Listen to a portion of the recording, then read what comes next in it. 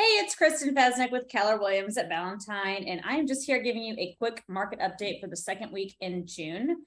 Um, looks like we've got 187 homes on the market. This is for just the Charlotte, North Carolina area this week we are doing. The median list price is 475. We have 1,708 under contract with the median days on market, four days.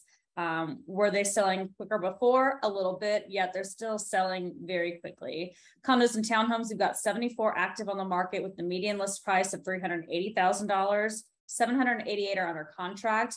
That average list price is 457,963 with the median days on market five. So they're selling roughly just as quickly as the single family homes in the Charlotte, North Carolina market.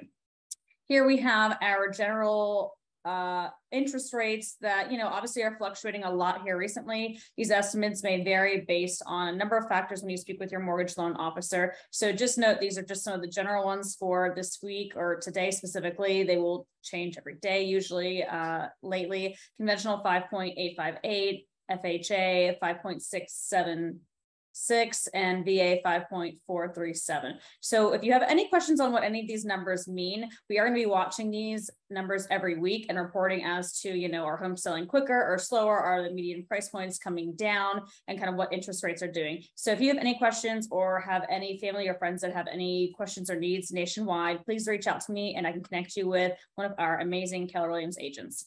Thanks. And I'll talk to you guys soon.